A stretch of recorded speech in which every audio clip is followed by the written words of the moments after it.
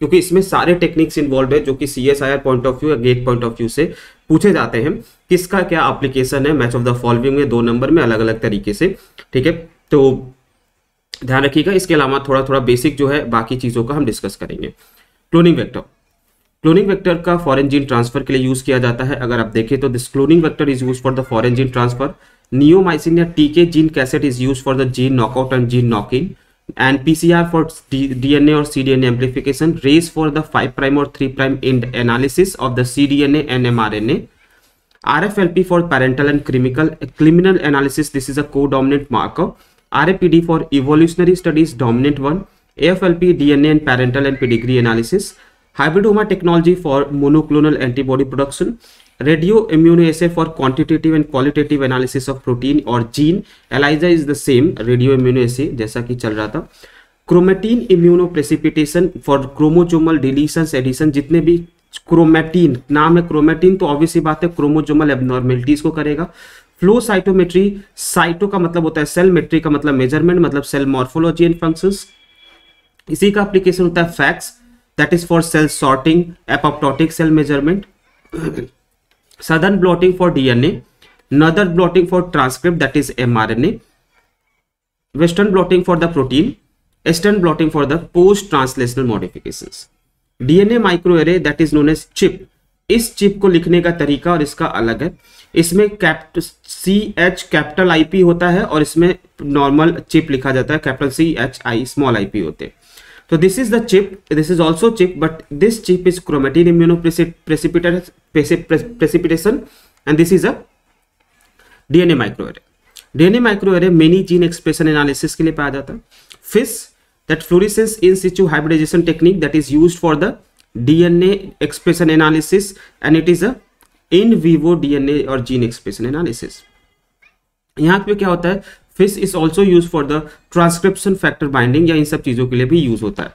It is also use for the transcription factor binding analysis and after that FRET FRET is use FRET is use for the protein protein interaction and nucleotide annealing FRET जो होता है ज़्यादातर interaction के ऊपर बात की जाती है। इसके अलावा ईस्ट टू हाइब्रिड ऐसे protein protein interaction phage display protein protein interaction surface plasma resonance interaction of biomolecules protein protein protein DNA ligand receptor SPR पाया जाता है। Transcriptome analysis mRNA large number of gene expression analysis के लिए होता है। SDS PAGE protein molecular weight determination agarose electrophoresis DNA molecular weight UV visible spectroscopy concentration CD secondary structure determination NMR tertiary structure X-ray protein tertiary structure and DNA structure more accurate is there ठीक है?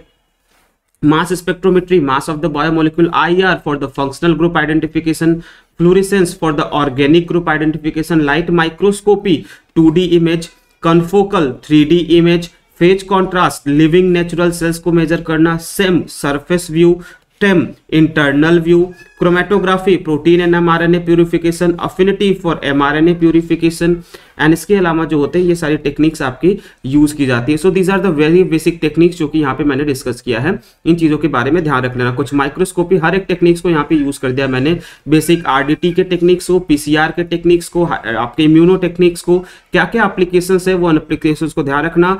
कई जगहों पर ये चीज़ें पूछी जाती हैं अलग अलग तरीके से, ठीक है?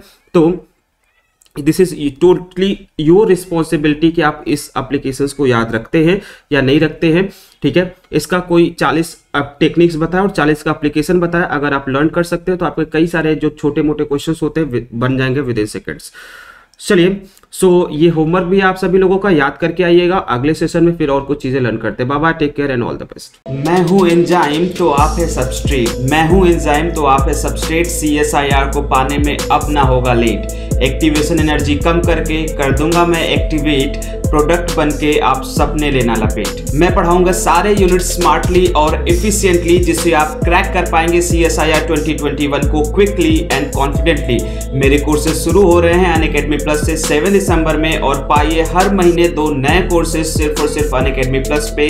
जुड़िए हमारे साथ अन अकेडमी प्लस पे और पाइए unlimited live classes organise notes recordings doubt session smart codes and analogies का पावर बूस्टर सिर्फ़ और सिर्फ़ एक सब्सक्रिप्शन में तो अन अकेडमी प्लस सब्सक्राइब करना ना भूले इंस्टॉल करिए लर्निंग ऐप एंड जुड़ जाइए मेरे साथ और मेरे प्रोफ़ाइल पे जाके सारी इन्फॉर्मेशन को देख लीजिए। यूज़ करिए रिफर कोड विद इन और विद इन live to get the ten percent discount चलिए मिलके करते हैं आपके सपने को पूरा। सिर्फ़ और सिर्फ़ छह महीने में जुड़िए हमारे साथ अन प्लस पे।